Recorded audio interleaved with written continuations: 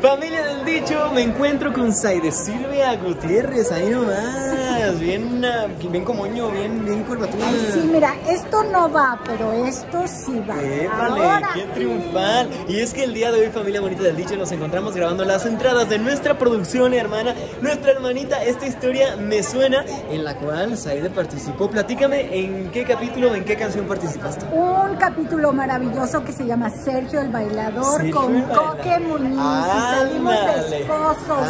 Nomás que ándale. no se porta muy bien y entonces hay consecuencia. Ay, Pero es una comedia trágica muy maravillosa Ay, y bailamos a todo lo que da. Oye, a ver, cántanos tantito de la canción. No me la sé. Ya llegó, ya está aquí.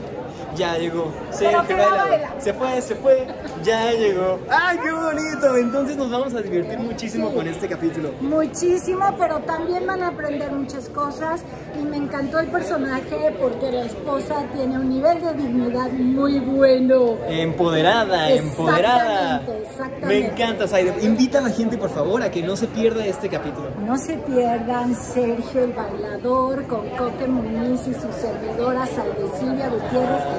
Hemos hecho el programa con mucho amor para todos ustedes. ¡Qué bonito! Familia bonita del dicho, los queremos, los amamos. No se pierdan este capítulo, me suena la voz tampoco, ¿eh? ¡Mua! Adiós.